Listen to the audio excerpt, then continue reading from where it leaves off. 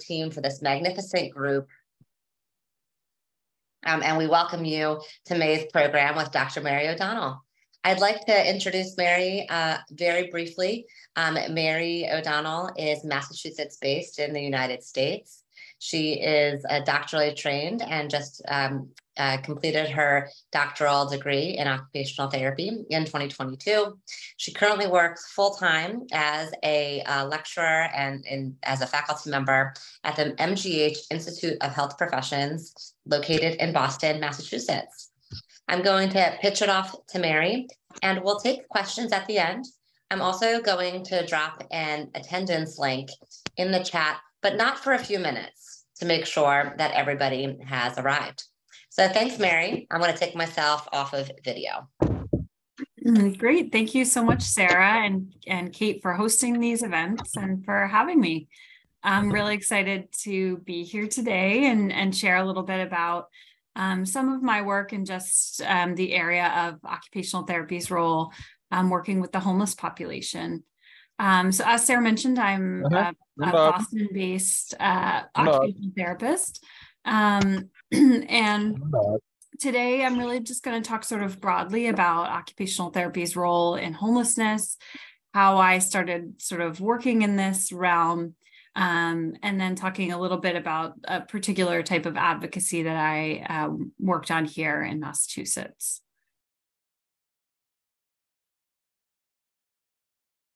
So here's our learning objectives for today. We're going to be defining homelessness. And I'll just note here that um, I'll be using the United States definition as defined by our Department of Housing and Urban Development. Um, but I'm sort of curious to hear how others sort of define and understand the concept of homelessness and would love to hear from folks throughout the presentation about that. We're going to be talking about barriers to occupational participation for individuals or groups experiencing homelessness, and then outline some steps that the profession can take working with individuals with or with groups, um, as well as some advocacy steps. So Sarah gave me a lovely introduction, but I'll just briefly share a little bit more about myself. I've been an occupational therapist for about six years and I, primarily working in pediatric settings. I've worked in outpatient pediatrics and, and home health. Um, so PEDS is really um, my love. Uh, about a year ago, I transitioned into a part time faculty role at the MGH Institute of Health Professions, and I'm now there as a full time faculty member teaching pediatric uh, and clinical coursework. Um, I completed my post professional degree at the MGH Institute and my master's in occupational therapy at Boston University, both here in Boston, Massachusetts. I'll talk a little bit more about service related to advocacy. Um, but advocacy is really a big passion of mine um, and has been since I was a student. Um, so, along with Sarah and another colleague in uh, here in Boston, we started a special interest group within our state association, um, specifically dedicated to advocacy. And the goal being really to engage community members uh, Massachusetts based occupational therapy practitioners, occupational therapy assistants uh, and students in the advocacy process. So, really, to learn more about the policies that are governing what we're able to do here and are governing our education um, and trying to really engage the masses in, in collective change for policies and programs that we care deeply about.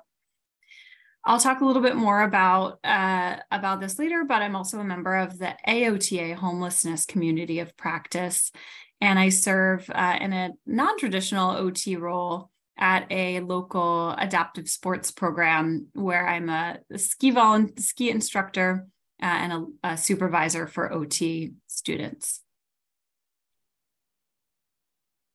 So I sort of wanted to kick it off by sharing my why. Why is this an area that I'm passionate about, and how did I get involved with homelessness and advocacy?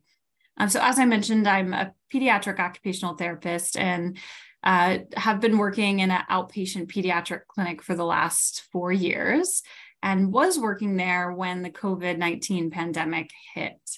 And so, like many others, we had to sort of pivot and transition to telehealth. We actually closed the clinic for a few months.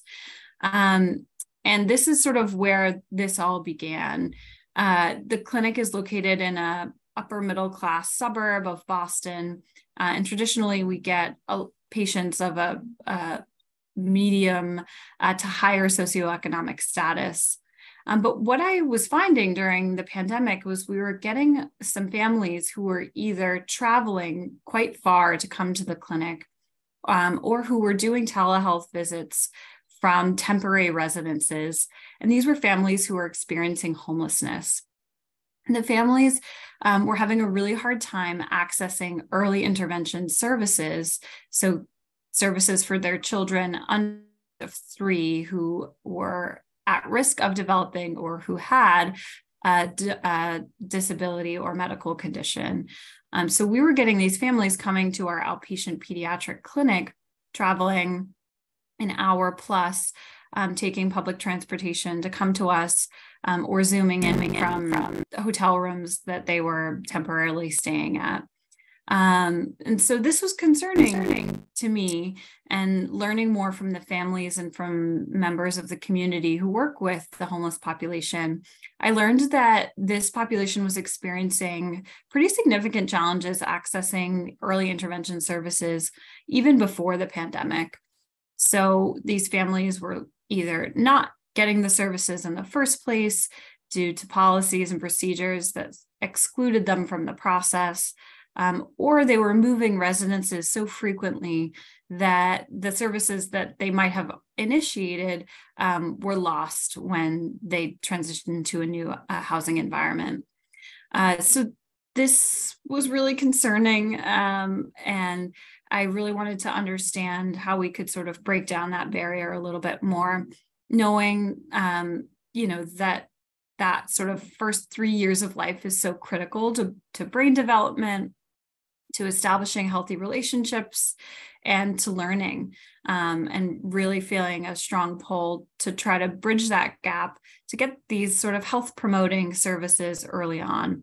Um, so at that time, I was also working on my doctoral capstone project um, and decided to take uh, take a deeper dive and learn more about the problem and come at it from an advocacy perspective. So there were so many different ways to tackle the problem. I could have created a program within our clinic specifically targeting this population. Um, but when I was looking sort of more broadly, zooming out at the policies in our state that mandate these services, uh, I couldn't help but ignore the fact that certain policies were really exclusionary to this population and preventing them from getting services um, sort of across the state. So, um, so I'll talk a little bit more about that specific project, but that's sort of how I got involved with the homeless population and advocacy, uh, despite not working in an organization that uh, explicitly serves uh, or exclusively serves uh, this population. So next, I'm going to just briefly define homelessness. And again, this is how we define it um, in the US based on the US Department of Housing and Urban Development's definition. Gabriel. And this is hey. sort of the, the first big definition, the one that we might think of when we think of the term homelessness. So, an individual or a family who lacks a fixed, regular, and adequate nighttime residence someone whose night primary nighttime residence is a public or private space not designed as regular sleeping, so street or a tent, um, and folks who are living in shelters. And so feel free in the chat or you can unmute. Um, just maybe share, does this align with what you think of as, as homelessness? Uh, are there other characteristics that you think of when you think of this term? Um, would you define it a different way? Or do you define it a different way where you are? We'll just pause for just a second. Sarah, if there's anything that comes through the chat, let me know.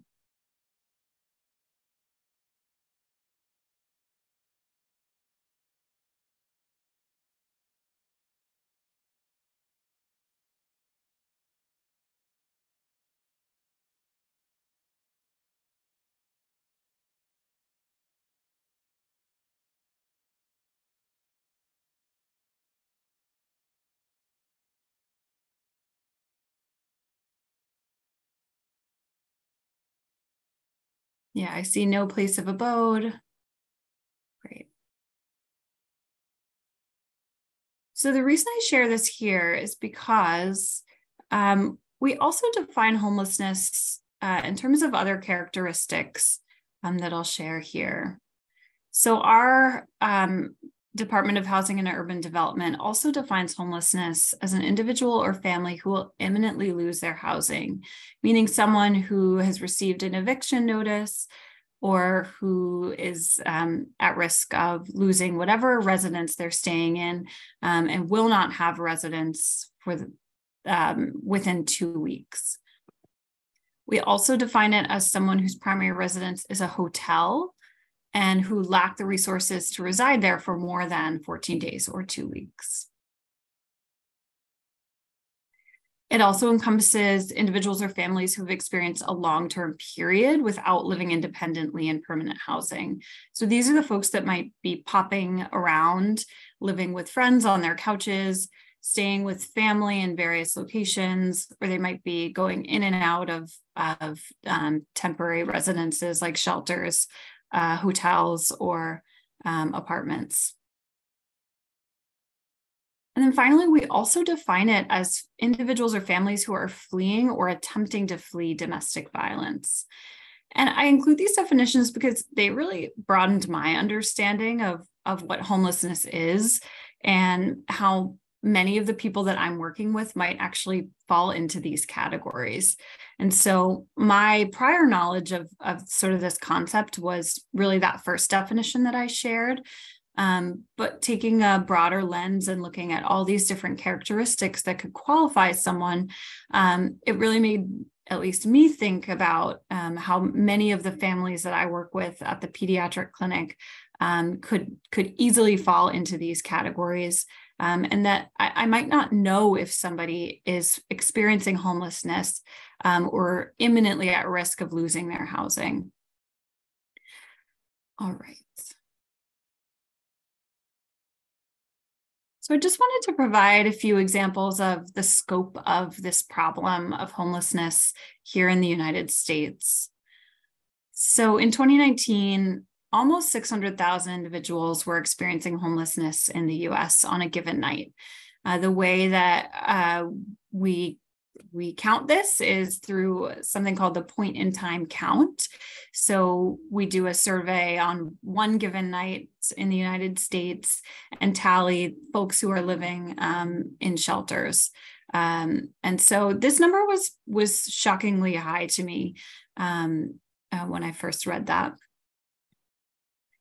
Another interesting stat is that about 19% of those experiencing homelessness were children under the age of 18. So again, as a pediatric occupational therapist, this was a staggering uh, a staggering stat to me, given that I work with these children in an urban um, setting. Um, so again, there's there's a lot of children out there, um, at least here in the United States, that fall into this category. And then the last one is that approximately 35% of those children experiencing homelessness fall within that one to five year old range. So again, this was was really concerning to me given what we know about early childhood brain development and impact of early experiences on learning and development across domains, learning motor skills, learning language skills, um, the fact that about a third of the children experiencing homelessness fall within this category um, is pretty shocking.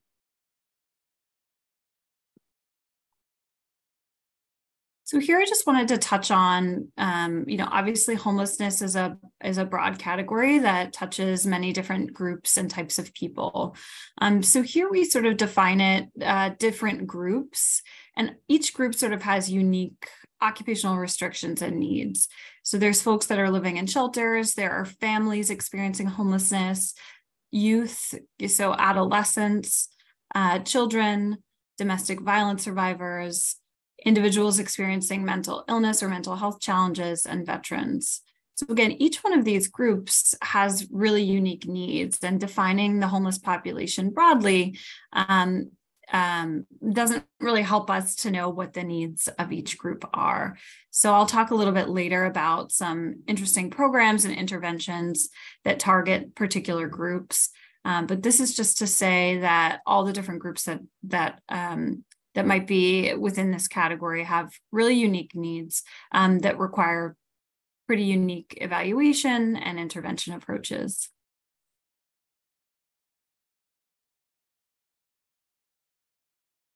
So next I wanted to touch on the concept of occupational deprivation.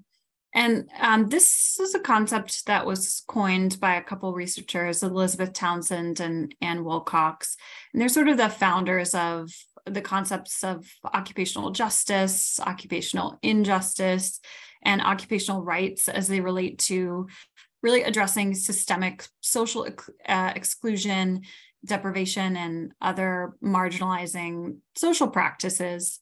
Um, and so occupational injustice is this sort of overarching term that encompasses many different concepts, concepts like occupational alienation, occupational marginalization, occupational imbalance, um, and it's really just this broad term that relates to the denial of opportunities to engage in purposeful activities necessary for health and well being.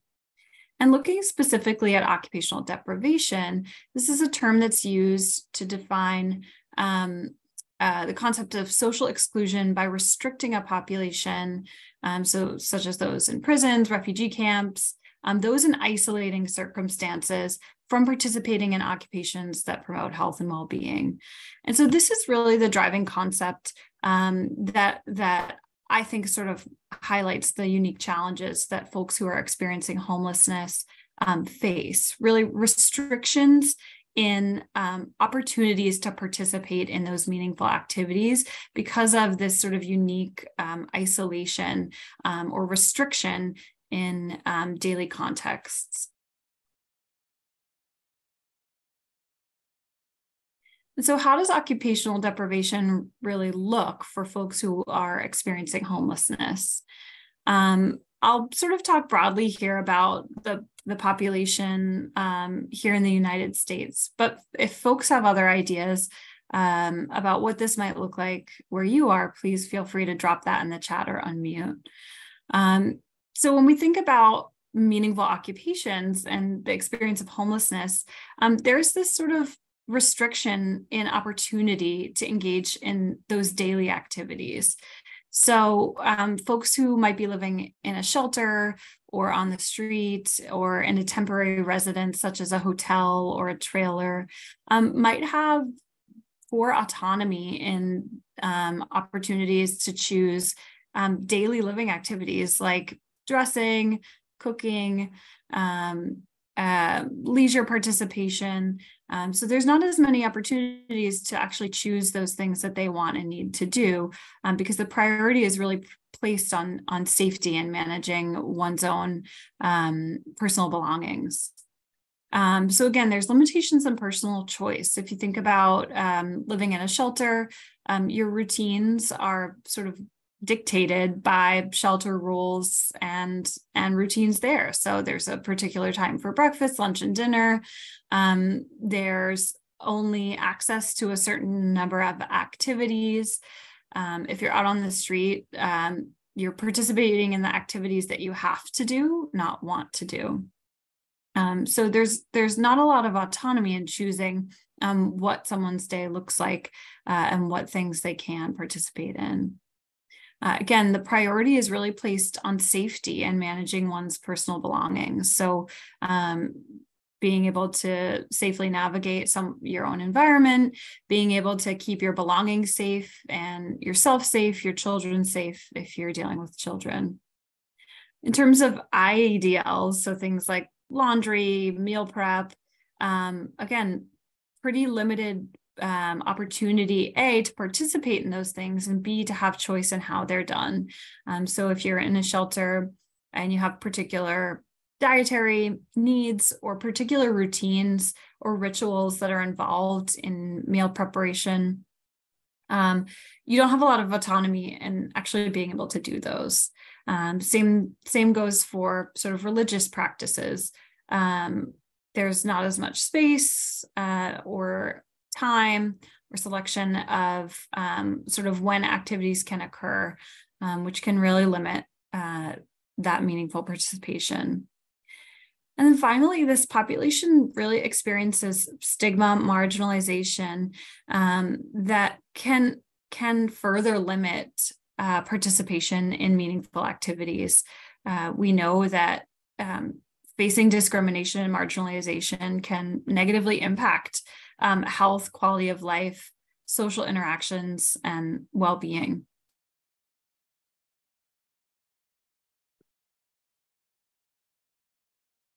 So here I've just highlighted a few practice settings where we might see folks who are experiencing homelessness and might be working with this population. Places like community organizations, healthcare for the homeless organizations, if those exist where you are, schools, hospitals, outpatient clinics. But I'll just pause here and, and ask folks, are there other settings that you think you might be working with uh, folks who are experiencing homelessness? Or does anyone here work with folks who are experiencing homelessness or think you might? So I'll just pause and feel free to drop it in the chat uh, or unmute yourself.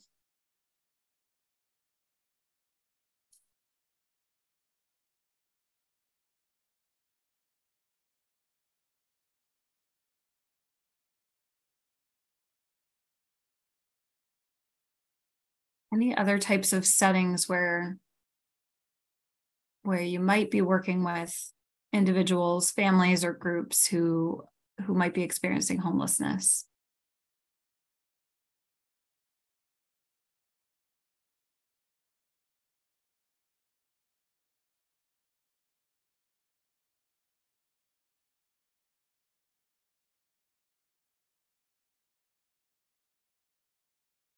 So I put this here, I sort of left it open ended because I think what I've realized is that um, um, this could really be a population that we're serving in any practice setting. Um, I certainly didn't expect in our outpatient clinic to be seeing so many folks who were facing housing insecurity. Um, during the pandemic, I was working with families who uh, lost their apartments because of financial challenges um, who were couch surfing with other family members or friends, um, or who um, had been experiencing homelessness, and I just didn't know uh, until until I got to sort of see their home environment um, or lack thereof through a Zoom screen. So uh, I'm going to speak in a moment about how we can sort of document and and assess housing status. Um, but I guess my point here was more um, we might not really know um, until we ask um, uh, if if these folks are are already our our clients or our patients. Um, and it's important to know that because they might have these really unique restrictions in their autonomy uh, in their access to resources. And those are considerations that we really need to know when we're making recommendations for our plan of care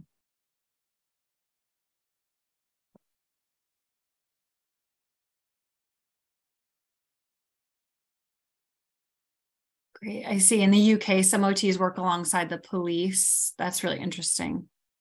Great.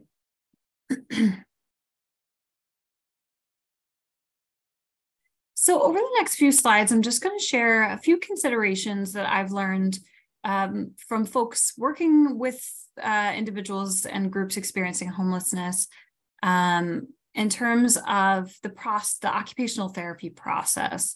So I'll briefly chat about um, considerations for evaluation, and then considerations for intervention approaches and how we can sort of tailor these um, using our knowledge of the unique needs uh, of individuals and groups experiencing homelessness. So, first and foremost, with evaluation, we really need to be documenting housing status. So, here on the right, I've included a, a snapshot from the electronic medical record that we use at the clinic that I work at. Um, and we recently included um, these new uh, social determinants of health sort of um, little ping things. And um, we screen all of the clients that we see for all of these social determinants of health. And this could come at a primary care visit, um, but if they're not filled out, we might be doing it at an occupational therapy initial evaluation. And so there's particular questions that we're asking and an algorithm basically that determines uh, their risk, risk status um, in each of these social determinants of health. And so you'll see here that we have a residential stability, um, social determinants of health tab. And um, we are asking questions as uh, sort of outlined by our definition of homelessness. And so some of the questions are Are you worried about losing your housing in the next 14 days? Um, how frequently have you been worried about um, not being able to pay rent? Uh, are you staying with friends or family? Um, and so making sure that we have that documented really helps everybody on the care team know um, a how can we help this family access the resources that they need? So if they're involved um, with a social worker um, making sure that they uh, are connected with those sort of care coordination pieces so that at the very baseline we can help connect them with housing resources. But it also quickly gives us a snapshot um, of how they're doing and um, that consideration as we're going through the evaluation helps us have that lens. And so if this is documented, I, I might not be, I might sort of be changing the questions that I'm asking related to the home environment um, so that I'm more inclusive of what a home environment might look like for different folks when we're uh, doing our evaluation, we also want to consider how we can have, again, a culturally sensitive occupational profile. So we want to be using inclusive language if we know that a family or an individual is experiencing homelessness. So not asking about, um, you know, how many stairs do you have to get into your house? Um, but considering how we can change that language to be a little bit broader and more inclusive. So tell me about where you're staying. Um, tell me about how you get in and out of the building. Um, so keeping that language a little bit broader.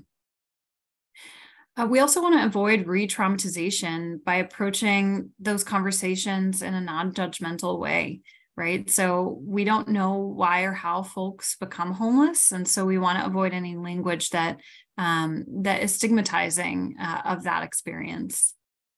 I also wanted to highlight a pretty cool and unique um, uh, standardized assessment folks might be familiar with the activity card sort. Um, historically, it was a tool that was used for community dwelling older adults to identify changes in occupational participation and to create an occupational history and, and kind of guide um, goal writing.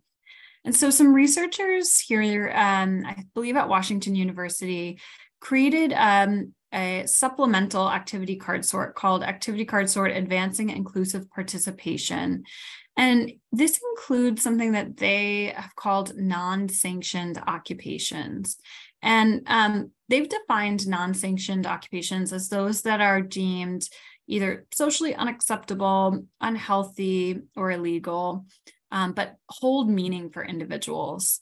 Um, and so some of these occupations are things like protecting one's belongings, um, I think it also includes things like drug use and um, other sort of occupations that we might not typically think about when conducting an occupational profile, but that are incredibly meaningful to a person's um, life. And so they created this tool um, specifically with the homeless population in mind. Um, and the goal here is is sort of really helping to reduce the stigma around these occupations and building rapport with the client so that they know that um, these are things that they have to do and, and that we understand that and we want to know um, how they're doing them. So um, here's just a snippet of one of the cards in this um, in this uh, modified version of the activity card sort. So you'll see um, this one is related to protecting my things. So it's asking someone, how do you protect yourself or your things? Do you have access to a locked space? How do you carry your things? Um, so this is just one example. And I think it's a nice tool to think about. Um, a, it's visual, so it, it's um, a nice inclusive way to talk about occupations for folks who, you know, might be more of a visual learner. And then B, it just includes some of these occupations that we might not think about as uh, as daily activities um, because we don't do them uh, but that are really sort of critical to the day to day of some folks who are experiencing homelessness. Great. So then just continuing about um, the evaluation process, we also have to ask about and really try to understand the context that somebody is living in. And again, this can really vary depending on housing status, whether it's a shelter, the street, um, a temporary residence. But we want to know what are the physical demands of the environment and how are you accessing your environment? Um, do you have access to private spaces? And if not, um, how can we help you create some private spaces to do those things um, that require privacy? And are you worrying about personal safety? and again, these are things that we can help with, um, and we can connect folks with other resources to help with. When we think about client factors, we're doing all those things that we always do in an, in an initial evaluation and trying to understand the person's motor skills, their cognition, their processing. Um, but we also have to consider health literacy or just literacy skills in general um, to know um, do you understand the information that I'm telling you? And how can I adapt the information so that you can better understand it? And then, of course, we're assessing performance skills and performance patterns. Um, but we're doing this with the context of knowing that there might be a lack of resources um, or there might be restrictions in required routines, um, and particularly for those who might be managing chronic conditions. So, uh, if we're working with folks with um, diabetes or other chronic health conditions, um, do they have the resources uh, and the time within their day to really be able to manage those conditions? And if not, how can we help them to define and better create those routines? Um, and then we're also considering what supports a person might need to transition to various settings. So if we're working with someone in a hospital setting um, and we learn that they are homeless, um, how can we help them transition to a safe environment if they have a, a hip surgery or um, some sort of condition that would deem them quite unsafe to be in an environment without support?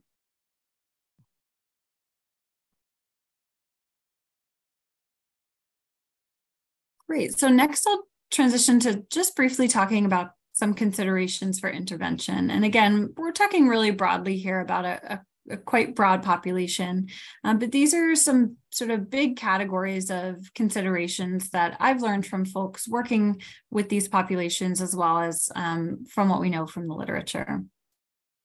so uh, obviously, we're always striving to provide choice and respect for an individual's priority when we're developing our interventions. And so that really involves us trying to reduce our uh, our our sort of um, assumptions and biases when thinking about what might be important to somebody. Um, so when we're going into intervention planning, we might think that being able to put on your clothes independently or complete a meal preparation activity might be important. Um, but we really have to understand from the individual or the group's um, viewpoint um, is that the most important to you right now? Or is it making sure that you have access to a telephone for communication? Is it that you have access to um, a safe private space to uh, do uh, religious uh, observance? Um, we really have to understand um, from somebody else's perspective um, what is at the at the top of that priority list and then we're also considering what skills um, might be relevant and realistic to that person. So, for example, we might be shifting our focus to prax- practicing um, accessing community based health resources um, versus, again, those ADL skills. So, we might be helping folks to um, set up appointments or navigate their community environment to go to the local uh, health clinic. So again, shifting um, shifting the target of the intervention to skills that are going to be realistic and practical um, for that person. Um, when I was working with a, a, couple folks during the pandemic who were families experiencing homelessness, uh, they were living in a, a hotel as a temporary residence. Um, and so while I had lots of ideas for activities, to help you know promote their child's um, fine motor skills we really had to shift and first make sure i understood that the family um, um, had routines that were meaningful to them, like reading and bath time, um, and then really using the resources within their hotel environment to come up with activities and games um, that could promote development. So we used balls of tinfoil, we used tissue boxes, we used um, pulling to stand at the edge of the bed. Um, so really adapting to the specific needs and priorities um, of them at that time. Uh, we obviously are always thinking about care coordination, so referral and follow through of social service agencies. Um, we did a lot of coordination um, with local nonprofit groups that were providing um, both housing and food resources. We're also helping folks sign up for health insurance coverage and sharing with them resources that um, that they were eligible for through our um, through our state uh, health insurance coverage. And then finally, we always have to think about through our documentation, really highlighting folks' strengths, their resilience, and their adaptive skills rather than um, focusing on differences in ADL performance through our sort of lens of privilege. So I'll pause there. Any questions so far?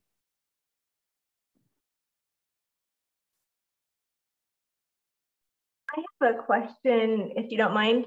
Um, sure. For the activity card sort inclusive version, is that available for like, can we purchase that? Do you know, or is it still in the like in the development phase?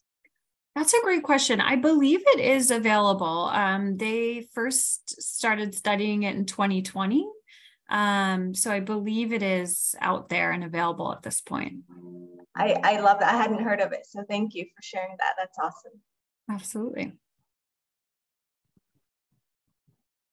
Great.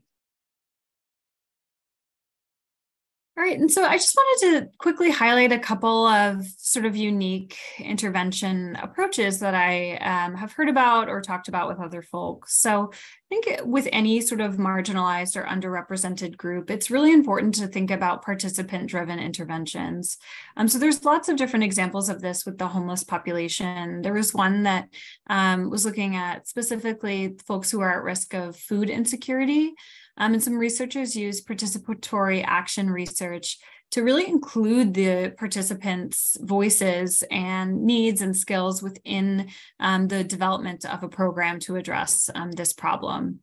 Uh, I'm working with a doctoral student right now who is developing a, a parent group in a local um, homelessness organization where she'll be partnering with parents experiencing homelessness as um, as essentially train the trainers. So they'll be helping to train other participants um, uh, on a program to address parental self efficacy.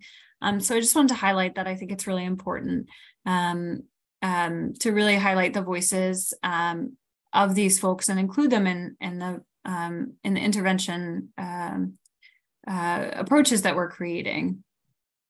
Um, we also have to think about not just individual interventions, but institutional and community level uh, interventions. So, really thinking about health promotion. So, there's some unique examples of mobile health um, units, so therapy on wheels, um, and considering how we can really be accessing these folks um, more frequently. So, uh, here in Boston, we have an organization called Boston Healthcare for the Homeless, and currently they don't have any occupational therapy practitioners on staff, um, but uh, there's lots of examples of OTs starting to infiltrate primary care settings.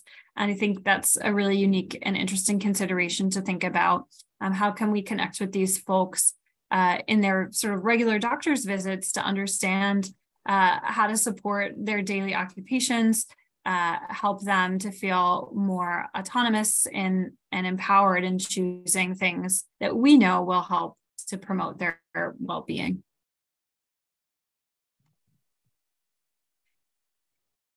All right, next I'll just sort of briefly touch on advocacy. This is a passion of mine and um, something I think we can't ignore, particularly when we're talking about marginalized communities.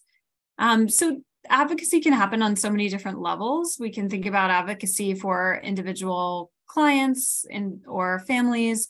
We can think about advocacy on a community level, so advocating for programs or policies to improve access to services. And then we can also think about advocacy sort of on a institutional or on a on a national level when it when it comes to policies. Um, so on, on a sort of community or individual level, I guess, we can think about advocating um, for improvements to shelter policies to enhance occupational engagement. So things like their intake processes, um, how they are uh, mandating curfews, um, their access to resources and activities, uh, I'll talk about it in just a moment, but one thing that I looked at was how we're screening for developmental delays um, in shelter intake uh, and how we can sort of improve that screening process. Um, we can engage and should be engaging with interprofessional teams to uh, really understand how to reduce stigma and improve um, inclusive practices. So uh, I'm a member, like I mentioned, of a, um, a national AOTA homelessness community of practice. That's where I learned about the activity card sort. Um, and um, it's within that group that I've learned a lot more about both unique programs that are happening for this population, um, but also just an area to share uh, to share challenges and to learn from other people um, who might have some ideas. We also need to think about how we can capitalize on funding, either from uh, grant funding or university resources, to sort of develop programs to meet the gaps that this population is experiencing. Um, so, again, I'm working with a student who will be developing a group within a community organization but i think we have to think about um, sort of how we're we're leveraging our power and privilege um, within the roles that we hold uh, to help create some unique programs for this population. So next, I'll just share uh, just briefly a, a, little bit about advocacy on a policy level um, from an example here in Massachusetts of some work that I've done. Um, so I mentioned that um, that what I found through my research and through working um, in pediatrics was that children here in Massachusetts who were experiencing homelessness having pretty significant challenges accessing early intervention services. So, um, these sort of health promoting developmental services for children birth to three years old.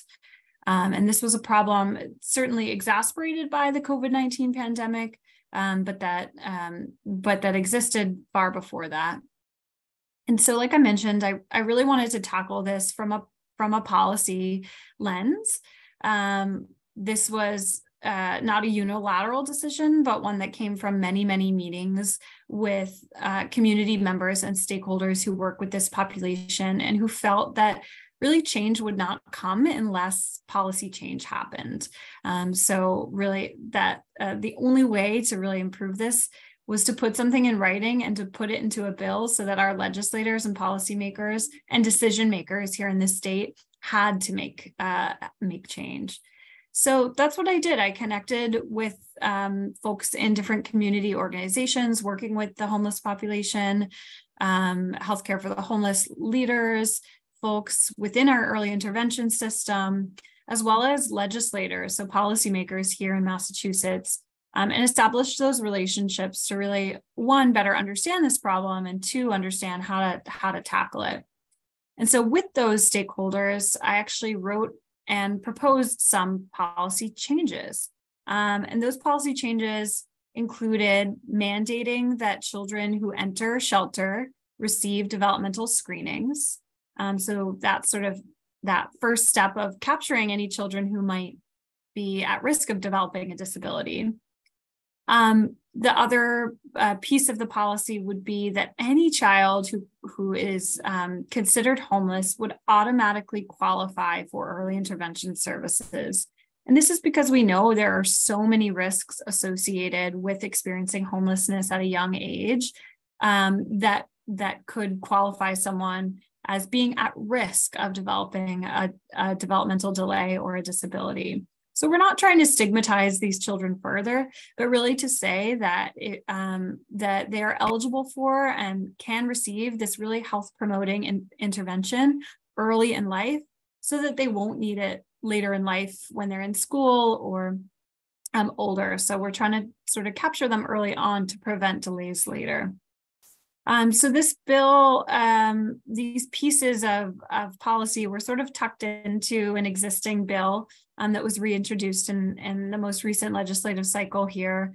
Um, and we're just waiting. Now it's a waiting game and, and an advocacy game of trying to continue to push forward this piece of legislation through continuing to connect with legislators here in our state um, to lobby for this bill passing.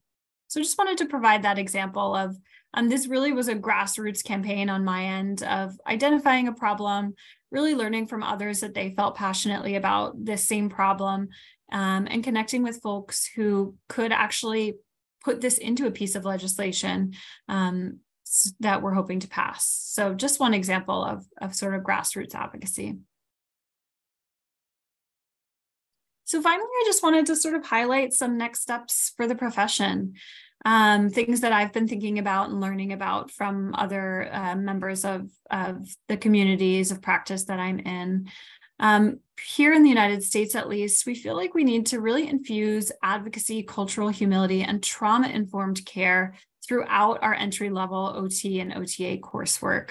Um, I think that trauma informed piece is an emerging uh, emerging concept that's coming through more and more OT education programs. But I think it's something that every OT student should be hearing about um, and recognizing that so many of the populations that we work with um, experience trauma or may experience trauma in their lives. I think we need to think about um, how we can get students out into the community working with individuals experiencing homelessness more um, while they're in school and while they're conducting research. Uh, and then finally, advocating for our role within non traditional settings like healthcare for the homeless organizations or even urban community planning and development. Um, so I think that is, is all I have for now, and I'd love to take some questions.